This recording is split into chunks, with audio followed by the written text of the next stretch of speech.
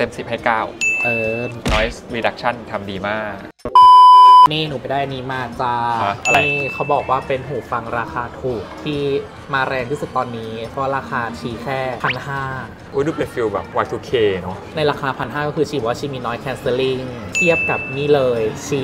AirPod Max เอออะเอาลักษณะเบื้องต้นก่อนนะอันนางมีมาครบนะ ปุ่มเพิ่มเสียงลดเสียง ปุ่มเออ power เนาะแล้วก็มีแล้วเป็นปุ่มแพปุ่มรก็เป็นช่อง USB-C ใช่ก็ดอกลำโพงพลาสติกหมดเลย ใช่ ไอ้ยเต็ม10ให้ 8 ก่อน เพราะว่าด้วยวัสดุเหลืออะไรเหลือแค่เสียงถ้าในราคาเลนในนี้รานะคานี้เออในราคานี้นะพันห้านะมาเทียบ เมื่อมาเทียบกับของ AirPod Max นะอะเป็นอลูมิเนียมแล้วก็เป็นผ้าบุหนังเนาะแล้วก็บนนี้ก็จะเป็นผ้าแบบหูฟังเป็นฟองน้ำแบบเขาเรียกนะเป็นเหมือน ขาก็จะ memory ถอด foam เขาก็จะเหมือนจะถอด เหมือน memory foam ที่สามารถแบบแกะออกมาแล้วถอดเออ เปลี่ยนหรือถอดทำความสะอาดได้ สิ่งที่เราให้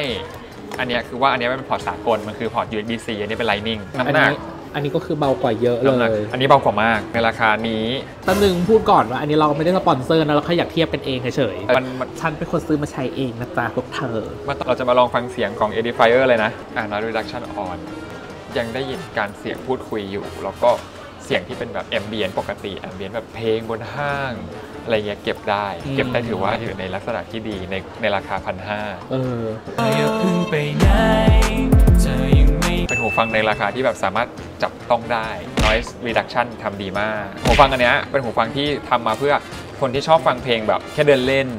ระดับแบบกลางกลางกลางๆกลางกลางๆเสียงกลางกลางๆแต่เบสเบสนี่ไม่ดี อันนี้ให้ เอออีกอย่างนะเขาเคลมว่าชีแบตทนมากนะ อะสามสิบชั่วโมงเออประมาณ 30-40 ชั่วโมงเลยเออเต็มสิบให้เก้า เออสำหรับราคาราคานี้ เอะถ้ามาแบบว่าสู้กันในราคาเลนเท่านี้ก็คือก็ต้องให้ชีก็ต้องให้อันนี้ตัว AirPods Max อะเสียงเขามันจะมีความแบบเหมือนเราฟังทุกอย่างอยู่ในห้องอะคูสติกอันหนึงที่กลม เออมีความกลมวัสดุพรีเมียมกว่า แล้วก็อ่าเสียงอะคูสติก หรือเสียงดนตรีที่มันทำออกมา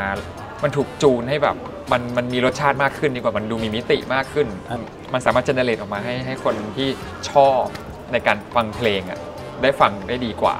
สำหรับงบใครที่แบบมองหาหูฟังในราคาแบบ ไม่เกิน 2,000 เราว่าอันนี้เป็นตัวเลือกที่ดีมากๆ ใครที่มีตังค์ก็ไปอันนี้ก็ได้ เออหรือจะอันนี้ก็ได้ไม่ติดเลย เออ